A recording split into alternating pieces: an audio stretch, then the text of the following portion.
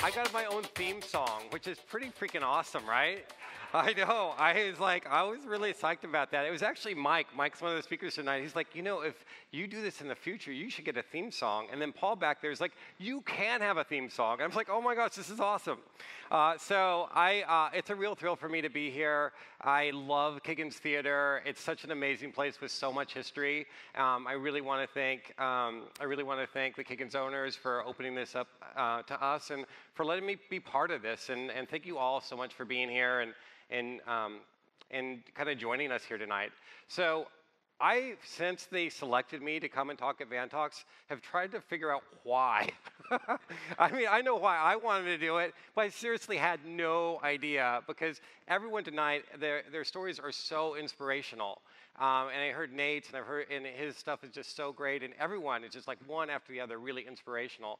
And I figured out why I am here, and that is I am the sorbet. I am what and we right we have sorbet to cleanse the palate. And so that's I am your sorbet. Thank you. Thank you. so we all have to have a purpose. Um, but anyway, so let's talk about energy. Energy is awesome. I love energy. As a matter of fact, I have seven of these shirts hanging up in my closet. I am always ready to go, always ready to talk. Um, so, but I wasn't always like this. Uh, as a matter of fact, and my wardrobe wasn't always this monochromatic.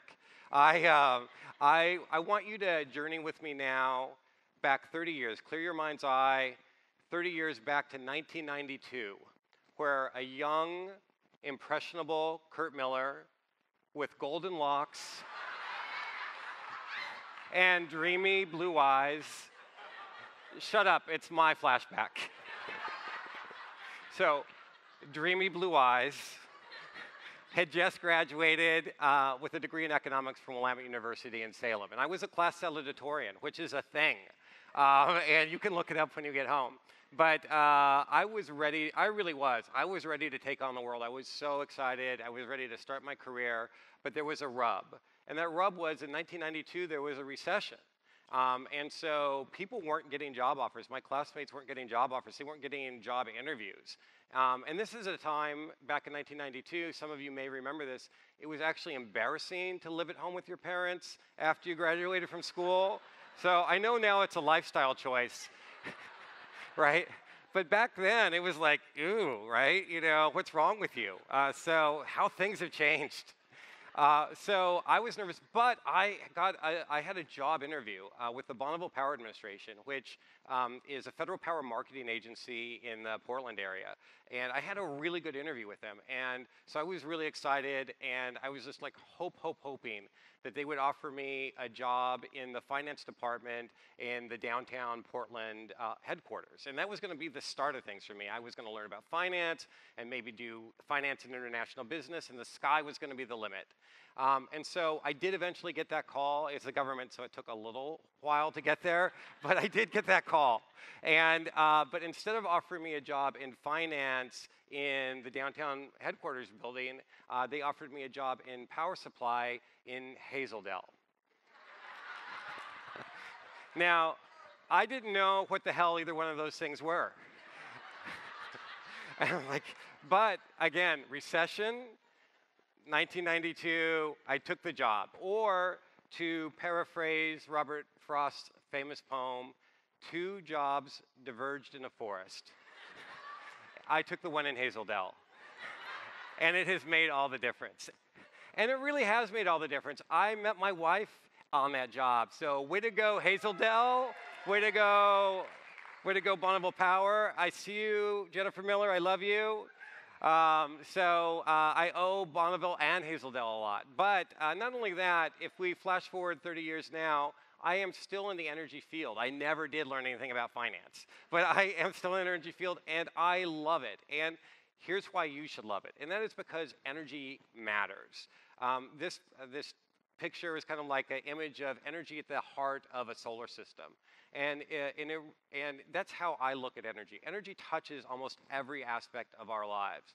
So when you think about how energy is produced, that can impact, that can create pollution, it can create, uh, it can add to climate change, If you think about where energy is produced, that can impact environmental justice, like what communities are being impacted by that production of energy. If you think about how much energy costs to produce, there, there's all sorts of social equity concerns about that. I mean, we've seen what's happening with inflation. People can't sometimes afford to both heat their homes and buy their medication. So there's all sorts of implications there. If you think about whether there is enough energy, that, has, uh, that can affect national security, but even beyond that, public safety, right? Because if you don't have electricity when you need electricity, people can die. So there's a, uh, there's a lot of different aspects that energy touches our lives on. And so getting energy policy right really matters. And um, you know, Nate talked about the takeaway. For you guys, for me, the takeaway is energy is worth learning about and it's worth getting right. So um, one of the one of the challenges of getting energy policy right is the challenge of unintended consequences. And I learned about that studying economics at Willamette is the idea like in an economy, there are things that you want to change. And so if you're a policymaker, you have some levers that you can pull. Uh, and you can affect that one aspect of policy.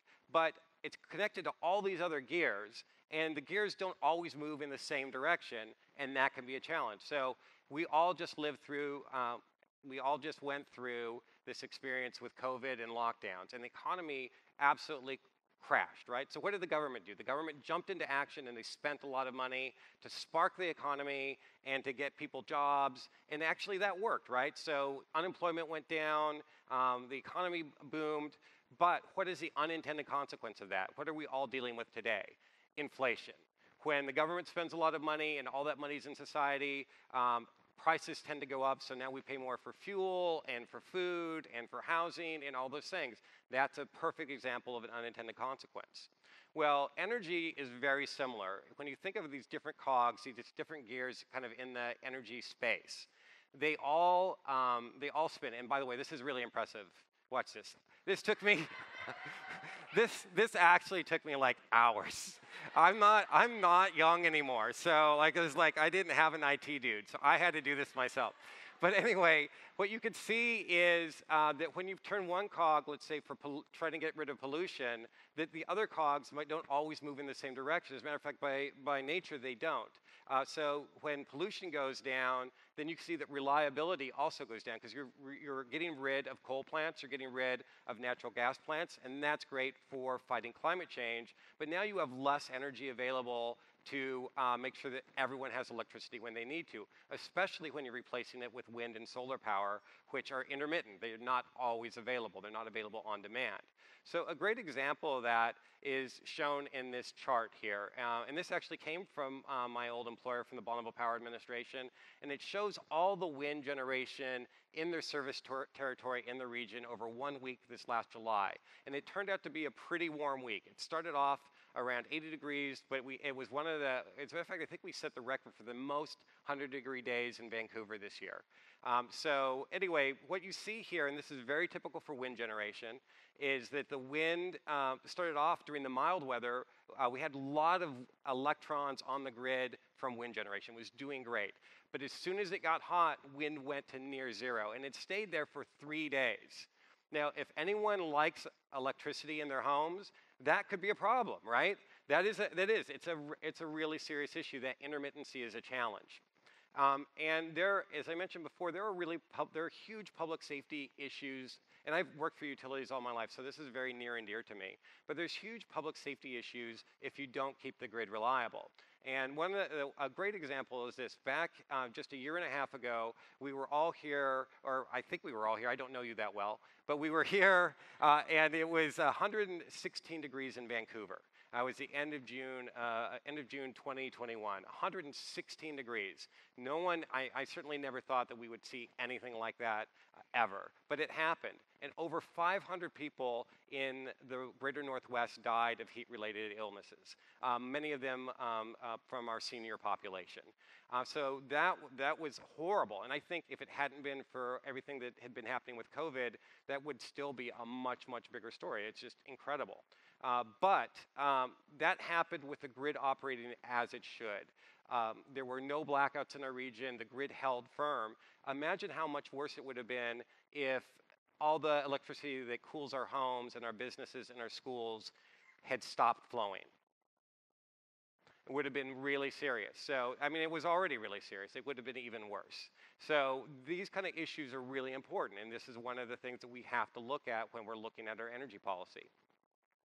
The other challenge with the intermittency of the generation that we're bringing online with wind and solar power, and again, these are not bad sources of generation. They're really helpful for fighting climate change, but they have their limitations. So because they're intermittent, because they're not always available, you have to overbuild. You have to build so much. So over the next 20 years, we are supposed to build more renewable generation than we have ever in the, like the, the history of the world, the history of the planet. We are going to have to build more generation in the next 20 years than we've built over the last 115 years to get to a zero carbon grid. We're supposed to do that by 2045, but we will likely only get about halfway there. Um, and if we want to get to a fully decarbonized grid, it's probably going to take another 30 years. So we've just flashed back to 1992, so we're talking about going from 2045 to 2075. That means millions and millions of extra tons of CO2 emissions in the atmosphere because it's going to take so long to build all those wind, wind plants and solar plants. So at this point in the talk, you are probably thinking, you are probably thinking, what the heck?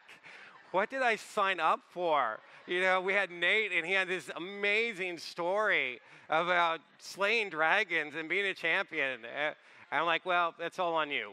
Uh, no, it's not. It's not on you. Um, the, the truth is that there are solutions, but I had to set up the challenge. First, we had to determine who the dragon was before we could slay it. So, uh, so um, we need resources like hydropower and nuclear power. And I'm going to talk about hydropower here but uh, you need resources that are available 24 by 7 and are clean. And so um, a, an example of how hydropower works, you put a dam in a river, you fill up um, the you fill up the area behind the river, the reservoir, with water. That water weighs a lot. If any of you have carried water around, water is heavy. It creates a lot of water pressure. When you choose to release it past the hydroelectric turbine, it spins that turbine and lights up a city. Did you guys see that? I made the city light up. So. Yeah, I, I didn't want anyone to miss that. Thank you. I see you, Vancouver. Uh, so absolutely. So, but you can do that with hydropower. You can do that again and again and again. It's a giant clean energy battery. We need resources like that. We need resources like nuclear power, a power that is on demand and can essentially what this does is it fills in those gaps for wind and solar power. They work really well together. But those are the kinds of things we need if we're actually going to achieve these clean energy goals. Most of our dams also have excellent fish passage. So thank you. thank you. Um, so yes, look, look how happy. Look how, ha- don't you guys feel better? so, so the truth is that we can do this. Uh, we can't be energy snobs. We can't be purists. A lot of people think, oh, yeah, we just have to do it with wind, solar, and batteries. That's not going to work. It doesn't do any good to pass energy policies that are unachievable. So let's work together. And when I say we, I really do mean we. Um, there's an election coming up, and there's a whole bunch of people out there who would like you to vote for them. Um, and you know, these folks, they're people pleasers, right? They want to know what their constituencies want. And as I think I've really demonstrated well, like energy matters. So if you go to the Clark County Elections website, you can see where these folks stand on a lot of different policies. We have people running for U.S. Senate, for the U.S. House of Representatives, for Clark County Commissioner, and uh, even for the Commission of Clark Public Utilities. You know, do they have a do they have a plan for us to get to uh, both a clean energy future, but also a safe and reliable energy future, and an affordable energy future? All those things matter, and those are the things that we should be focused on. So um, as I mentioned, other than just being uh, sorbet for your evening, I also I also really do love energy, and so I would I would welcome for any of you guys to reach out. Uh, my email address is on there. It's Kurt with a K uh, at nwriverpartners.org. And anyway, thank you so much for your time tonight. Thank you for laughing at my jokes. Appreciate it. Bye. Thanks. Thanks.